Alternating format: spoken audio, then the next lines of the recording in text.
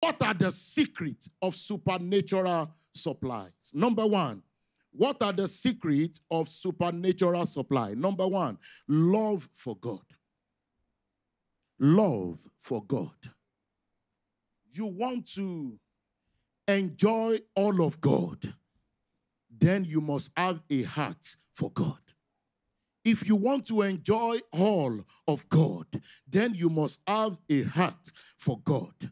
Love for God is the heart for God. Love for God is God first mentality. Love for God is God first mentality. In the book of First King, chapter 3, verse 3, many of us thought the secret of Solomon's prosperity was because he offered a thousand offerings unto God. And that is where many of us refer to in that First King, chapter 3. Oh, Solomon offered 1,000 offering. No, sir. Look at the beginning. First King, chapter 3, verse 3. Church, are you there? Let's read it together. Want to go? That's all. And Solomon loved the Lord. Listen, giving is born out of love. If you cannot love, you cannot give. Many of us do quote John chapter 3, verse 16. For God so loved the world that he gave.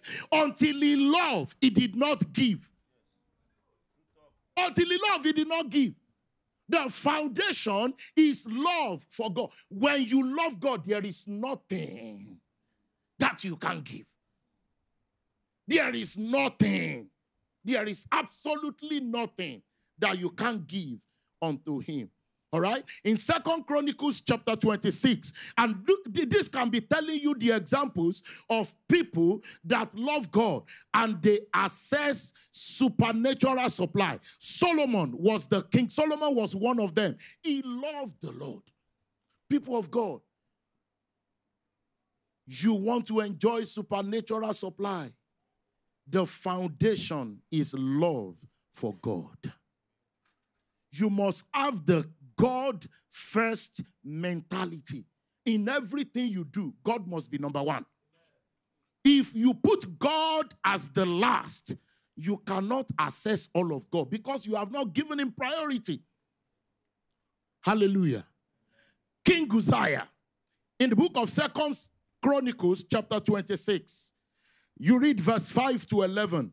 Second Chronicles, chapter 26, verse 5 to 11 time will not allow us to go through everything. Bible says he sought god in the days of zechariah who had understanding in the visions of god and as long as he sought the lord god made him to prosper.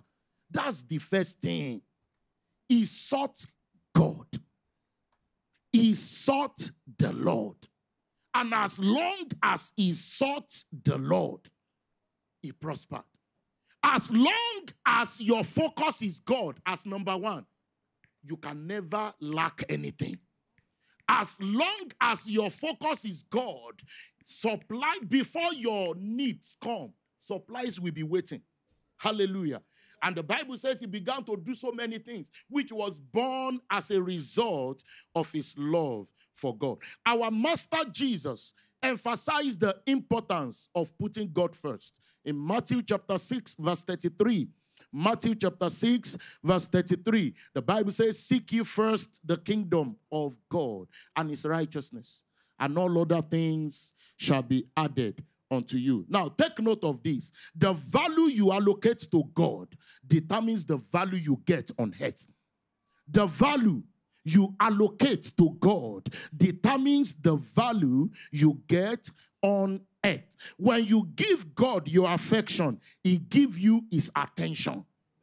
When you give God your affection, He gives you His attention. He gives you His attention for provision.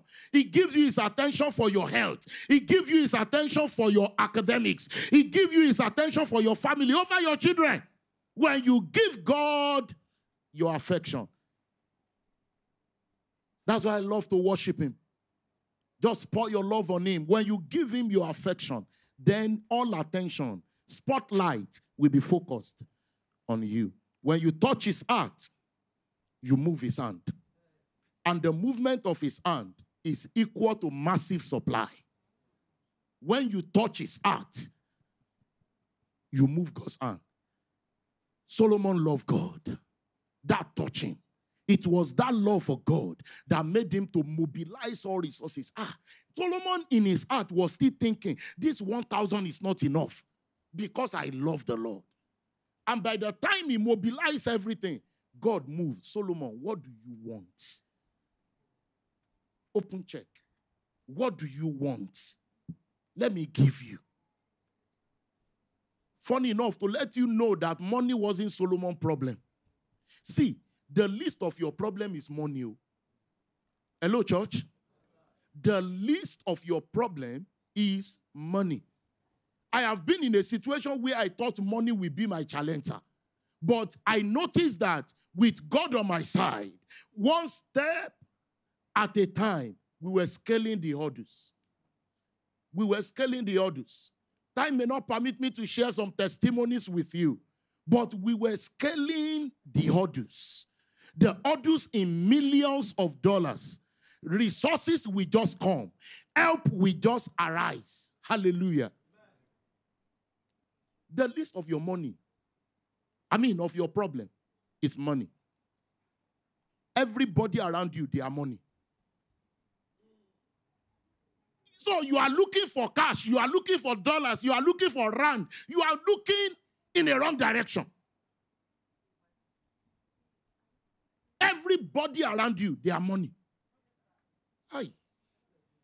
We need to go into school of business so that you will understand what I'm talking about. Everybody around you, they are money. Money is kept in hidden places including the belly of the fish. Praise the name of the Lord. So you need to understand that the first thing is the love for God.